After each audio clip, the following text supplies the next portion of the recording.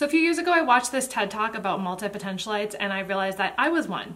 It's someone who has multiple interests, multiple passions, and is good at multiple things. So for me, instead of choosing one career, I have multiple. In fact, I have at least two businesses as well as many, many clients. For me, managing multiple different things is really confusing and hard, but Notion is actually a great tool to allow me to manage all those things. So today I'm gonna be walking you through how I do that by separating out my Notion accounts. I actually have five separate Notion accounts and I wanna tell you guys specifically what I use each one for and how I organize every little thing in my life that otherwise without Notion I would be completely overwhelmed and not be able to do anything. So I hope that you guys check this out. I also have tons of resources down below, free resources, paid resources. Uh, check out my Notion Foundations All Access Bundle, which is where you get all the trainings on how to use Notion effectively. I'm gonna be coming out with much more new content soon. I'm super excited. So hope you guys check that out, subscribe for more videos, and let's get to this video. So for this part of my Notion account, I use this specifically for my personal projects. So the first one that I have is my business projects, my clients, and my content calendar. So over here, you can see I have links to those, and that's kind of where I do all of my personal setup. I also have my to-do list and that sort of thing, just again for myself. And then I also have different things over here. So you can see I have pinned accounts that I have for things that I go to a lot, my favorites, my to-do database, and my workspace. So that's kind of the main thing that I use this account for. Again, is just my personal stuff. It's stuff that I use for myself and it's stuff that I use in my life. So the next part that I use is my clients. So my clients area is actually really a great area where I actually work with multiple different things. I have my past clients, I have my future clients, I also have my resources for clients with my portals and portfolio. So for my clients, I actually have a couple of different client portals that I use for different people. So when I'm actually working with them one on one, I have them inside of this Notion account. I separate this account out because, again, I'm sharing multiple pages in this account, and I also have guests inside of this profile. I can quickly remove or add people to this profile, and so it's easy for me to know who has access at what time. So, for example, if I sent out a proposal and maybe the proposal got signed, they don't need to see that proposal anymore. I can remove it from being live, but I also can keep it. So, for, for example, I have a list of past proposals that I have as well as past client portals that I've used in the past for some of my clients. So, for example, I have also proposals that are still active, so I keep those over here. Um, Um, and you can see again, I kind of sorted out. I have resources for clients. This is actually a example of a client portal. If I needed to duplicate that and make a new portal for some of my clients, again, you can see here I have things like content and marketing, my onboarding documents, my projects, anything I'm doing for my clients. Um, I would duplicate this and put that over here on the left-hand side, and then I would name it after the client. So that is exactly what I use this specific board for, this specific account. You can see it's a separate account completely. This is not a separate workspace. This is a separate account for my clients. All right, so I've got my main profile, I've got my client's account. Again, these are separate accounts. You can still flip back and forth easily on Notion.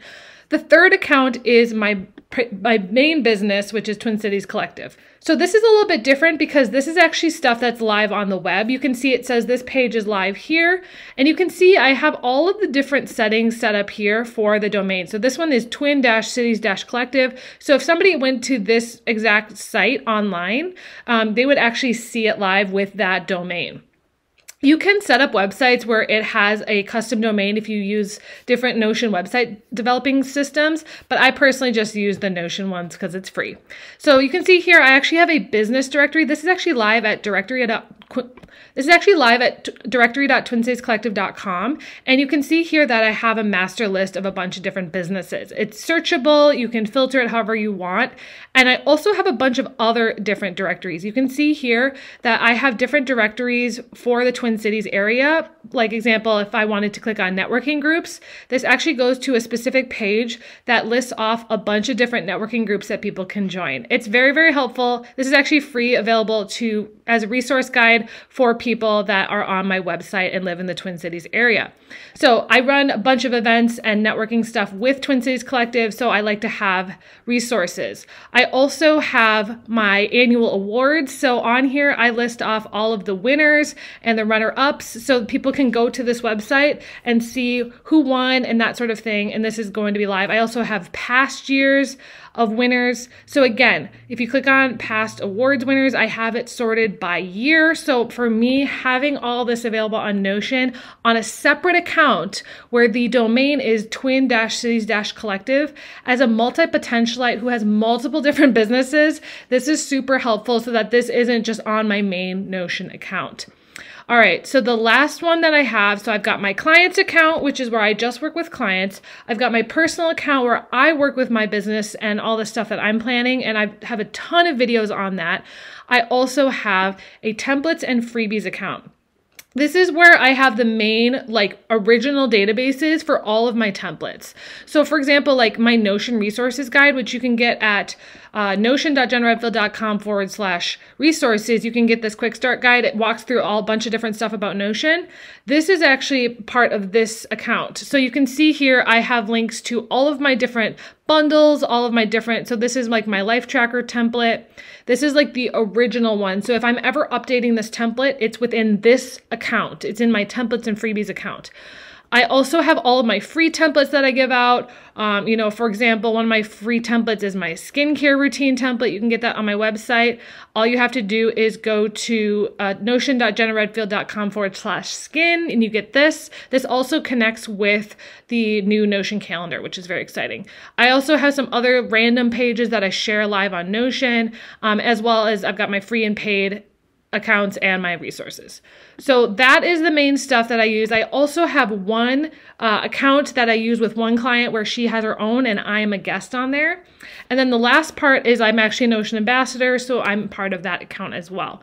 So that is kind of how I use Notion for multiple different businesses that I have, how I separate out my different accounts. Again, this account here, my main account, is what I use to really plan out all the projects that I have personally. I also do manage all of my contacts internally, um, and none of these pages are shared to the public. All of them are internal. None of these are shared with the internet. So that's kind of how I separate it out, and that's kind of how I, as a multi-potentialite ADHDer, sort of organize things, because otherwise if they were all in one account, I think I would go insane. I originally had these all in one account, and they're not anymore. So anyways, I hope that that's kind of helpful to show you guys a little bit parts of my life. I run, again, multiple businesses. Locally, I do a lot of stuff around marketing and video, so I kind of manage which client to-do list I have right now. I also run a ton of events and workshops, so if I'm planning events, I actually put them inside of this business projects area, um, and so I'm still keeping that internal. So anyways, I hope that this is helpful. I have a ton more videos on all these topics, so if you just watch my channel, you can check them out, and I'll talk to you guys next time.